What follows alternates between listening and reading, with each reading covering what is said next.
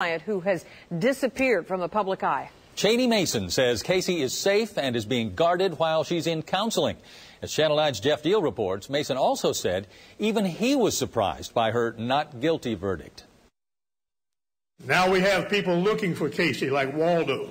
In his typical wry, sometimes sarcastic tone, Casey Anthony defense attorney Cheney Mason made a presentation and answered questions for members of the Tiger Bay Club of Central Florida, including Orange County Sheriff Jerry Demings. The topic, the case against Casey Anthony. Casey is, has had her day in court. She's not saying anything else. And, and by the way, who's going to believe her anyway?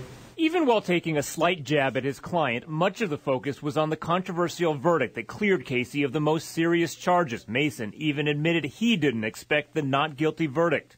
Was I surprised? The answer is yes. Mason, of course, says he believes it was the right verdict, but was surprised because what the jury did took courage given the public sentiment. They don't deserve to be criticized, they deserve to be memorialized. He also let it be known Casey is now in counseling and she is safe for now. But he admits keeping Casey safe for the rest of her life will be a challenge, and right now he doesn't know how it can be done. Well, what are you going to do about it, like I said, if you find her? Somebody, you, somebody going to go up and hit her, kill her, assault her? I don't know. In Orange County, Jeff Deal, Channel 9 Eyewitness News.